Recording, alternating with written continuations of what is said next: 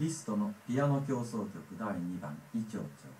ギャリック・オールソンのピアノ。エーリヒ・ラインスドルフ式ウィーン交響楽団の演奏でした。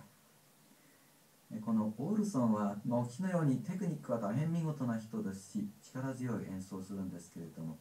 以前は、まあ、洗練度とか細かいニュアンスの表現に多少欠ける。ですからショパンなんか演奏いたしますと多少荒さが目立ったように思います。しかし最近それがま次第に洗練されてきているように思いますけれども、まあ、今のリストを聞いておりますとこういうリストのような作品はこの人の向きの作品ではないかと思います。非常に迫力に富んだ輝かしい演奏であったと思います。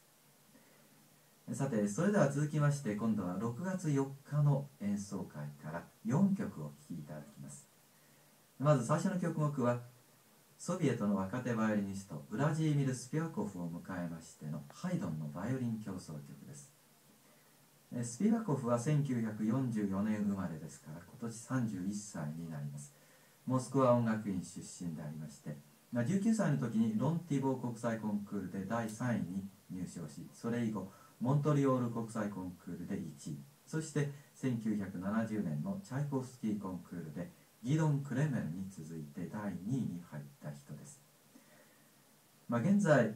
ソビエトにはこの辺の年代の若手のバイオリニストで優れた人が多いんですが例えばギドン・クレメルとかあるいは